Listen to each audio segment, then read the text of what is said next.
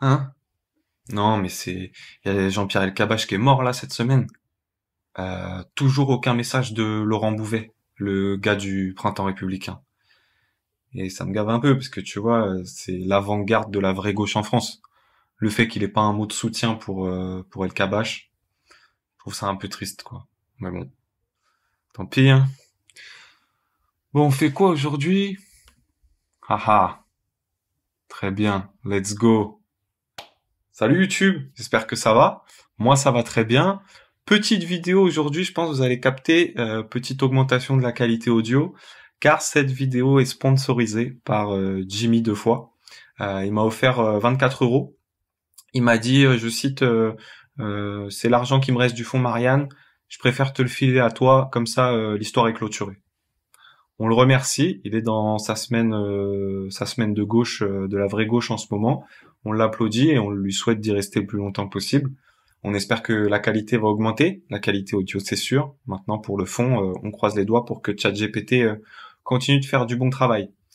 Aujourd'hui, on va parler euh, du YouTube Game de la vraie gauche. Je vais vous parler un petit peu des personnes actives sur cette plateforme et comment elles m'ont amené à être un meilleur militant de la vraie gauche depuis que je les connais.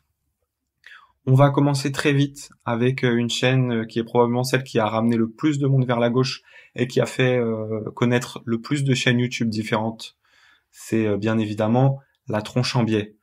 La tronche en biais qu'on appelle euh, plus communément la tub, T-E-B. Donc la tronche en biais, elle est connue parce que c'est une chaîne de zététique. Alors là, vous allez me dire, qu'est-ce que c'est la zététique, mis à part un mot rigolo qui pourrait faire pencher, penser à une branche sombre de la tectonique Eh bien, la zététique, c'est un savant mélange entre les sciences, euh, l'esprit critique et le harcèlement. Euh, zététique, zététikos, euh, du grec ancien zététikos, qui signifie euh, qui cherche. Qui cherche, voilà, donc on peut chercher plein de choses, on peut chercher la vérité, on peut chercher la merde, on peut chercher des indices pour se protéger du soleil obscurantiste des complots sombres du dark web. Voilà. Euh, donc la Tub, elle est connue pour euh, son personnage principal, Dax, qui est un fervent défenseur euh, de la lutte contre le harcèlement. Et il pratique cette défense d'une manière un petit peu personnelle, on va dire. ce qui fait en fait très souvent, donc Dax, il va publier des choses sur Twitter pour mettre, pour faire un petit peu de pédagogie auprès de sa communauté, pour faire des, des, ateliers un petit peu concrets, des choses vivantes. Il va publier des choses comme, eh, les wokistes, ça va de, de militer avec vos émotions un peu? Ce à quoi euh, des personnes, euh, des gauchistes vont lui répondre euh, des choses complètement absurdes. J'en avais noté un d'ailleurs parce que c'était vraiment très très long. Alors par contre, c'est bizarre d'utiliser un terme créé de toutes pièces par l'extrême droite américaine et qui sert à silencier les paroles de gauche en s'appuyant sur une panique morale qui correspond complètement à n'importe quel homme de paille que tu es capable de dénoncer en temps normal waouh, c'est long, c'est long, personne ne lit ça. Moi-même, je ne lis pas ça. Là, je le fais pour euh, la vidéo. Et Dax de la Tub ne lit pas ça non plus. Il bloque tout de suite les personnes. Il ne répond pas à ces critiques, euh, malgré qu'elles soient argumentées. Bah, elles sont trop longues. On peut pas lire humainement. C'est pas possible de lire tout ça. Et donc, euh, ce qui se passe, c'est que comme les personnes n'ont pas eu de réponse à leurs critiques argumentées, les gauchistes reviennent avec des insultes. à des choses comme ouais, t'es qu'un nulos, euh, on en a marre de toi, euh, d'axe de la tub, euh, euh, va-t'en, des choses comme ça. Il y a même aussi des anciennes aficionados de la tub qui viennent avec des slogans du style mal à tub ou la tub c'était mieux avant. Donc suite à ça, très souvent, ce qu'il fait à Sermandax, là, il bloque tout le monde. Et ensuite, il intervient et dit, vous voyez ma communauté, c'est ça vraiment le harcèlement. Je vous invite à ne pas faire pareil. Et ensuite, il se transforme en papillon et il s'envole et il fait des attaques poudre dodo comme ça sur sa commu pour qu'elle reste dans le, dans le chemin, le droit chemin de la vérité. Voilà. Et très souvent, pour parfaire aussi cette pédagogie, ce qu'il va faire, c'est qu'il va lui-même harceler des gens. Alors bien évidemment, il va le faire au second degré, hein, euh, de manière zététique. Et euh, c'est aussi pour montrer en fait à sa communauté un peu l'envers du décor des coulisses. Euh, donc moi, grâce à Sermandax, hein, qui m'a quand même, euh, qui m'a appris plein de choses, euh, notamment à me, à me soucier un peu plus des opinions divergentes des miennes, des opinions qui divergent quand même pas mal, vers la droite et l'extrême droite, ça, on, on va pas se mentir. Mais personnellement, moi, ça m'a aidé à mettre un peu d'équilibre dans mon militantisme de gauche qui était énormément euh, basé sur mes émotions, malheureusement. Euh, grâce à ça, grâce à Sermandac, j'ai pu euh, découvrir donc pas mal d'autres chaînes, notamment une qui s'appelle le Canard réfractaire. Et là, euh, petite petite information, quand vous avez un YouTuber ou une YouTubeuse qui a un animal dans son nom, dans sa chaîne YouTube, c'est très souvent une personne qui fait partie de la vraie gauche. Voilà, donc ça, ça vous donne un petit peu des petites informations. Euh, le canard réfractaire, donc, euh, c'est euh, un excellent critique de la bourgeoisie et des milliardaires. Donc, moi, je suis pas trop dans, la critique des milliardaires parce que vous savez que je suis plus sur une ligne rousselliste que ruffiniste.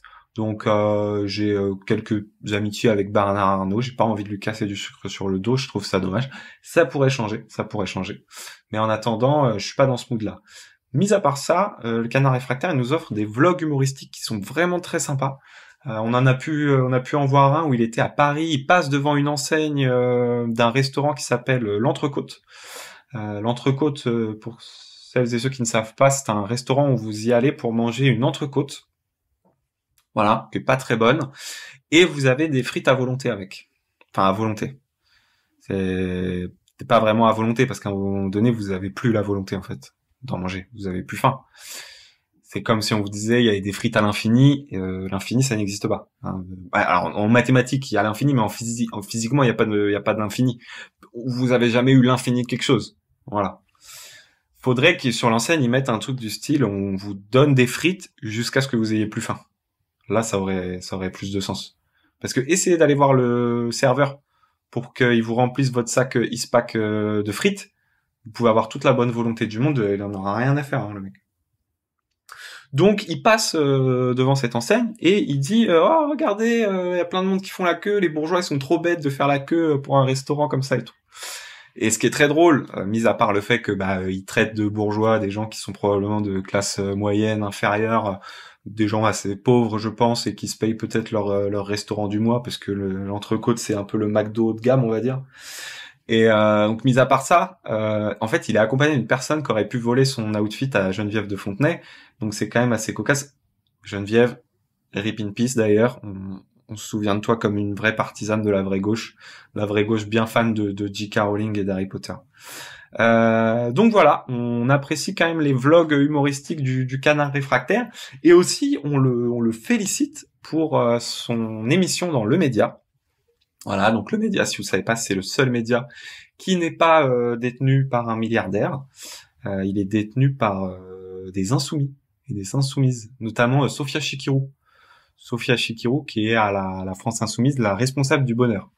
Donc son rôle, c'est de créer des conditions de travail agréables et puis de résoudre les problèmes qu'il y a pour les salariés euh, et les militants les militantes. Donc elle, elle a une stratégie qui fonctionne vachement bien, c'est qu'elle crée elle-même les problèmes avec les personnes. Comme ça, elle peut facilement mettre le doigt dessus et, euh, et les résoudre. Ce qu'elle avait fait durant une campagne, la campagne présidentielle de 2012, où euh, elle avait, euh, elle avait accusé d'harcèlement sexuel une militante envers Jean-Luc. pour pouvoir exclure cette militante plus facilement, ça a marché. Bravo, bravo à cette stratégie. En autre personne qui est proprio du média, on a Gérard Miller, qui est un, psychanalyste. La psychanalyse qui est une science, enfin, qui est pas une science. Enfin, il y a débat, il y a des, il y a, il y a un débat. Il y a d'un côté des personnes qui disent que euh, euh il n'y a pas de méthodologie scientifique, euh, de, méthodologie scientifique dans la psychanalyse, que les théories sont irréfutables, que les préceptes sont changeants depuis euh, le début de la discipline et sont utilisés dans la plupart des sectes qui existent sur cette planète. Et de l'autre côté, il y a les psychanalystes qui disent euh, bah si, c'est une science vu qu'on est euh, scientifique. Voilà. Donc euh, je vous laisse vous faire mon avis là-dessus. Moi j'ai le vôtre. Je pense qu'on sait, on sait où revient le savoir, à qui il appartient et qui est-ce qui a fait des études pour pour savoir des choses. Ne soyons pas, ne soyons pas mesquins. Merci. Et donc là-bas, à le média, le média qui n'est pas détenu par un milliardaire, eh bien le canard réfractaire va pouvoir continuer un petit peu ce qu'il sait faire de mieux, c'est-à-dire la critique des milliardaires et des bourgeois, euh, mais en débattant seulement avec euh, l'extrême droite. C'est euh, intéressant d'ailleurs qu'il fasse ça. On, on, sent un espèce de petit complexe d'Oedipe où en fait il veut aller convaincre les enfants de ses propres ennemis pour s'allier avec. ce qui est ce qui est un peu bizarre, une espèce de prouesse humanitaire. On l'applaudit quand même pour ça. Il a il a comment dire donc ce complexe d'Oedipe qui est important, il faut pas le confondre avec le complexe d'Oedipes qui lui correspond au moment où vous achetez un burger dans un resto, que vous voulez accompagner ça et qu'il y a trois quatre propositions avec et vous, vous savez que vous pourrez pas en dégommer plus de deux donc euh, donc vous êtes un peu paumé. La solution, vous prenez 24 chili cheese nuggets et euh, pas de burger, vous irez tout droit au paradis. Le, canard réfractaire, euh, euh il, a, il, fait partie de, de ce qu'on appelle la gauche no cap. Alors, je me suis un peu renseigné sur la gauche no cap. Euh, no cap, qu'est-ce que ça veut dire? Je crois que ça veut dire no capitaliste, en opposition à la France insoumise, qui n'est pas du tout capitaliste, enfin qui n'est pas du tout anticapitaliste. Et en soutien, je pense à Fabien Roussel, qui est euh, anticapitaliste. Alors, contrairement à Jimmy deux fois de trop, qui est anticapitaliste une semaine sur deux, euh, Fabien Roussel est anticapitaliste un jour par an.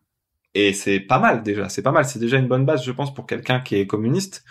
Euh, par contre, il fait en sorte que ce jour-là ne tombe pas euh, au moment où il faut faire alliance avec euh, avec les autres gauches, parce que sinon ça va être plus compliqué pour lui d'obtenir un poste et d'aller porter la bonne parole grâce au temps de parole qu'il peut obtenir sur différents plateaux et l'empêcher de faire campagne pour la saucisse française et d'aller affronter son rival sur les terrains de foot, son rival français Ruffin, qui d'ailleurs tous les deux jouent au poste de défenseur d'extrême droite qui est assez euh, assez rigolo de voir deux rivaux qui sont au même poste. Voilà.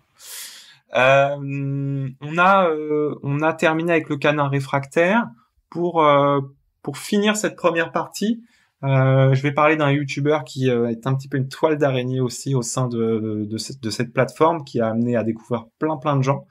C'est un YouTuber qui a aucune difficulté à parler de tout le monde, que ce soit à gauche comme à droite, qui a aucune difficulté à parler avec tout le monde, que ce soit euh, de la droite euh, à l'extrême droite, et qui a aucune difficulté non plus à collaborer avec tout le monde, que ce soit de l'extrême droite française à, l'extrême droite internationale.